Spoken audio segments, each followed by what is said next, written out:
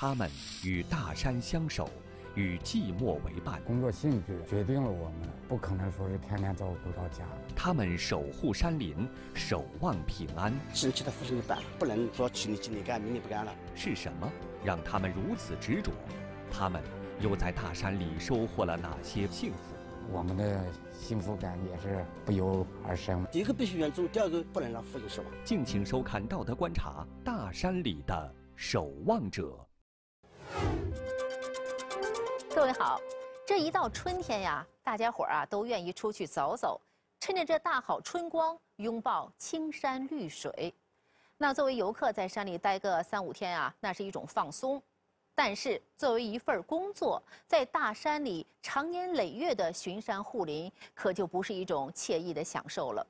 今天我们讲劳动者的故事，就从这样一对父子两代护林员开始说起。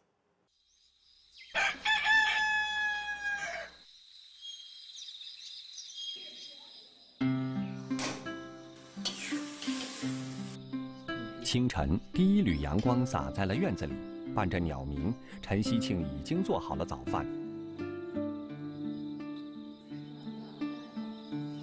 早上正正常起来，早饭吃过，一个人在家，拧个茶杯子，带个收音机就上来。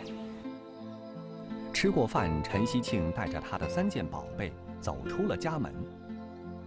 那您三件宝贝都是哪三件？第一，铁锹；第二，收音机；第三是一杯茶。陈希庆是一名护林员，每天巡山护树就是他的工作。成片的益阳、乌丘等林木覆盖在这片一千多亩的林木组成的林海上。每天巡山时候最基是两趟，最基是四公里路。护林员要保证好林一身汗，下雨甚至，才能行。这座山位于江苏省仪征市月塘镇大营村，此山不高，但有一个响亮的名字——峨眉山。与著名的四川峨眉山同名，山上种的都是齐刷刷的林木。我的意见说：“这树二十年，这树长得漂亮，山山巡山，我看看，心里非常高兴。”陈希庆是当地林业部门的护林员，也是本村村民。方圆一千多亩的山林都要靠他看护，他要时时刻刻防火、防盗、防羊啃。树也干了。草这个饲料以后，火特别严重的要防火。第一，第二，防蛰，不能刀砍，不能养进去。它的树皮是铁的，这样会啃，一啃就死掉了。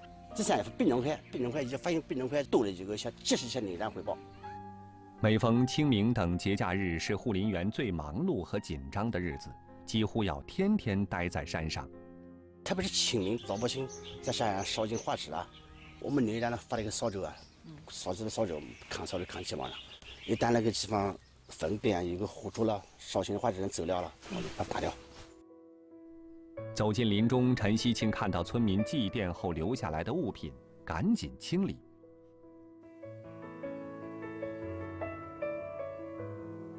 陈希庆带着铁锹走走看看，看到刚栽不久的小树有些倾斜，陈希庆就用随身携带的铁锹把树木扶正。树栽了以后，下雨倒了一个敷衍，那个带小孩一样的。你今年不服，明年明年不服，下过雨了，下刮过大风了，就倒在地上不死掉了吗？这些都是陈希庆每天的日常工作。每天走上十几公里，陈希庆已经习以为常。护林员辛苦自不必说，刚干护林员时每年的工资是一千八百元，现在刚刚提升到每年三千元。工资低、辛苦、责任大，村民一般都不愿意干这个活儿。我们不谈工资，我们谈工资的时候，这事情就不能做。只能其他父亲就办了，那不着不扣就把事情完成。啊，不能说今年今年干，明年不干了。我们干了这么多年，我们继续干。陈希庆当上护林员是受父亲的影响，父亲是村里的生产队长，也是一名老护林员。陈希庆对这片山林的感情是从他小时候陪着父亲巡山开始的。从小跟在山上巡山，他栽他栽树割草，我在山上掏麻雀、掏掏料。那时候我不理解了，为什么这样做？但是我对我没让，我给他有原因。说起陈希庆的父亲陈永桃，村子里的人个个都很佩服他。陈永桃做了三十多年的护林员，认真负责，对偷树的人不管是谁，绝不姑息。是我父亲的秘密在山搞了四处，讲说过，我老子可发现了一个绝句不不能搞。他是一辈子看上很负负责任，啊，他是不讲情面。他父亲叫陈永桃，是一个老护林员，是一个老队长。当时的护林工作非常艰苦，因为林比较大，路也不好走。因为护树不留情面，陈永桃得罪了不少村民，也让老伴儿担惊受怕。有一次人偷树，一人点了那边山那那个庄子那边一楼，他一个人搁后面，我你给人打了怎么办呢？陈永桃的老伴儿介绍，陈永桃平时脾气挺好的，但是抓到偷树砍树的人，他就不管不顾了。不不看书脾气挺好的，嗯，看书不行，看书不行，下雨了把下雨都在山上转，哦，啊，他不转这山树都给人搞了了，偷了了。陈永桃做护林员时几乎没出过远门，因为他一天也离不开这座山里。陈希庆接班后，八十多岁的陈永桃去了一趟北京，这是当时孙子给他拍的照片。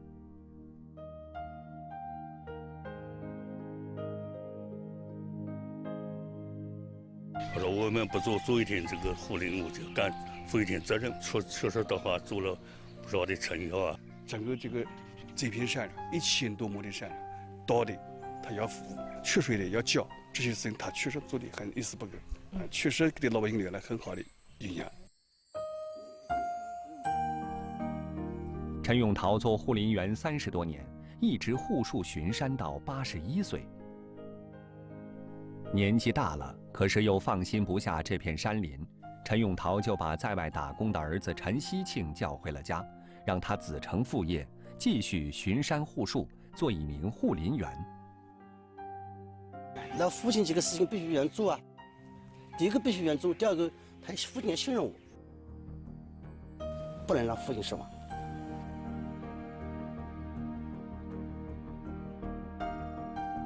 为了看护山林。陈永桃、陈希庆父子倾注了无数的心血，从栽树到管理，两代人是亲力亲为。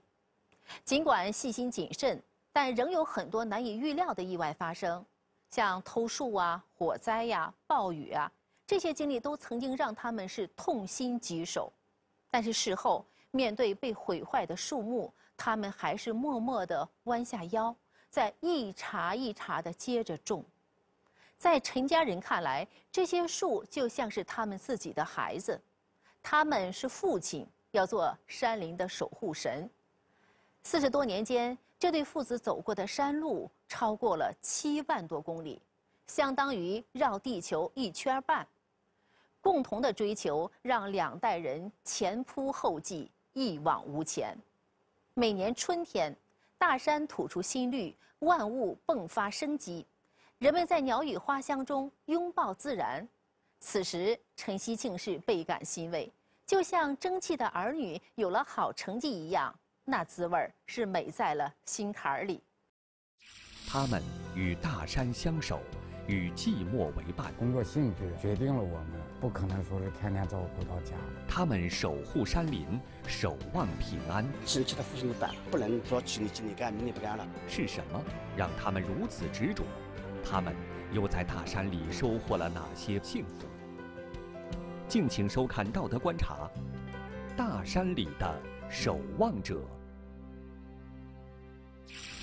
呃，到了那水流流，又在那张台压起。张爱琼，到。王中华，到。冯瑶，到。吴岩，到。吴经纬，到。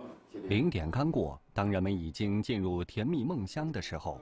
从石家庄到太原的铁路线上，一个叫坡头的小站里，工长康和平和他的同事们已经准备开始一天的工作了。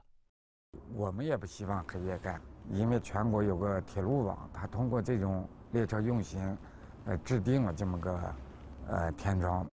康和平所说的天窗，是铁路系统在列车暂停行驶时，专为铁路检修而空出的时间。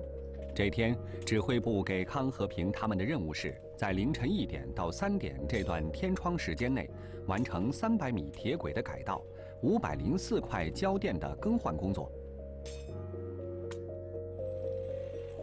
杨路工虽然拿着一堆铁疙瘩，干的可是细致的技巧活儿。为了让起伏不平的两条钢轨保持平衡，他们需要在轨道下垫上专用垫板来调节高度，这都是按照毫米计算的。它承载的列车是成千上万吨每天的碾碾压，所以我们养护起来必须用毫米来计算，呃，要精确到毫米，这样才能够保证，呃，呃，成千上万吨列车的通安全通过和旅客。人身安全。四月的北方已是春暖花开的季节，但凌晨时分的铁路线上依然寒风刺骨。人家他们干点活吧，人家不冷。你像我这一防护不干活，站在那儿就冷的不行。站在这呃铁道上，这下的这大雪，嗯，踩在那雪里头，可冷了。姬丽是康和平的妻子，也是坡头站养路工中唯一的女性。她在这里的职位是防护员，她要监控列车，呃，保证现场作业人员的安全。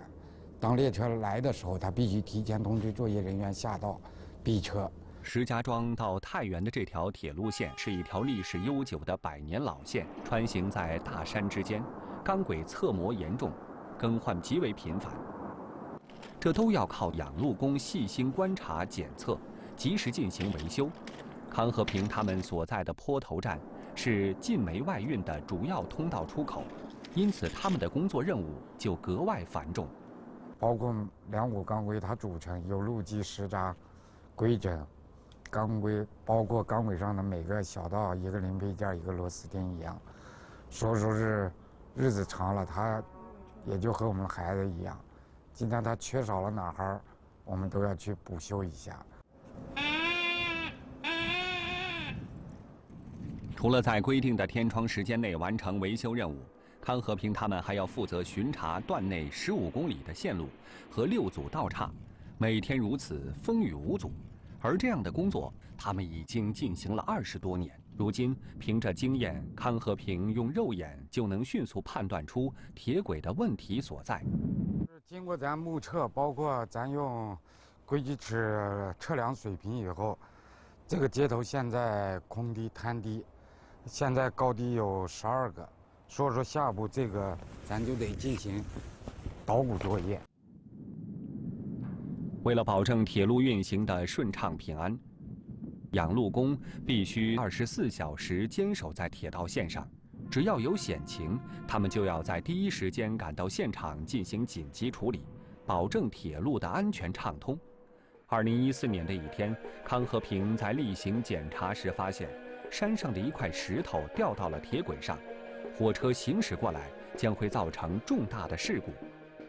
当时把这个挡墙全部撞烂以后，这个新印子就是当时又砌起来的挡墙，掉下来撞烂挡墙，把站台撞坏以后，直接掉到了山道。因为康和平他们及时发现了隐患，并且拦截住了火车，一场灾难就此避免了。在过去的二十多年间，处置类似于这样的突发险情，康和平已经不记得有多少起了，但他们从来没有因为漏检漏修而导致安全问题的发生。每天看到这一列列，呃，呃，列车从我们身边经过的时候，能够安全驶出我们太原局时候，也是我们这儿作为我们太原局的一个东大门，我们的幸福感也是不由。嗯，而生吧。坡头站地处大山深处，附近没有村落，在这里除了日复一日的重复工作，还要忍受远离家人的孤独和寂寞。在过去的二十多年间，身边的工友换了一茬又一茬，只有康和平两口子一直坚守在这里。其实，他们的家就在位于坡头村外二十公里的地方。但从结婚以来，他们俩就一直生活在这个小站上，很少回家。他们的儿子已经二十二岁了，但一家三口至今没有拍过一张合影。有时候你看我们这离家远了啊，也不怎么，平时在家也少这个啊，基本基本上离家远，都就往替换我们，让我们能和家里面过个节。为了能让工友们在春节回家过个好年，在过去的二十多年间，每一年的春节，康和平都会选择自己留下来值班。是因为我父亲他们，包括我丈人他们都是铁路退休的，他们所从事的也是铁路行业，所以从小他们有一种灌输啊，他们也能理解我们当子女的，因为我们这个工作性质，决定了我们，呃，不可能说是天天照顾到家。作为这个小站十几名工人中唯一的女性，除了每天的日常工作，姬丽还要负责站上的生活琐事。但她每天都做得很愉快。她说：“因为这里的每一条铁轨上都留下了她和丈夫的脚印，都留下过他们洒下的汗水。”像康和平、姬丽夫妇这样在偏远小站工区一守这么多年。他们舍小家顾大家，坚守奉献尽职，在我们段还有很多。也正是由于他们确保了铁路的运输安全。康和平和姬丽这两口子呀，在大山里的小站上相守了二十多年的时间。二十多年来，夫妻俩累计养护铁路达十一万多公里，没有因为工作失误发生过一起事故。他们用自己在大山深处、在严寒酷暑中的坚守，诠释了最美养路工的价值与担当。如今，姬丽因为退休离开了工作岗位，但她还时不时还会回到小站陪着丈夫呢做点工作。作为大山里的夫妻岗，小站就是这两口子的家。他们建立这样一个家，就是想让平安之路通万家。以后啊。咱们坐在舒适的车厢里享受旅途的愉快的时候，请别忘记，车窗外那一闪而过的，除了美丽的风景，还有很多像康和平和姬丽这样的养路工人，他们让那些美丽更长久，让长久的美丽变永恒。我是徐俊，明天见。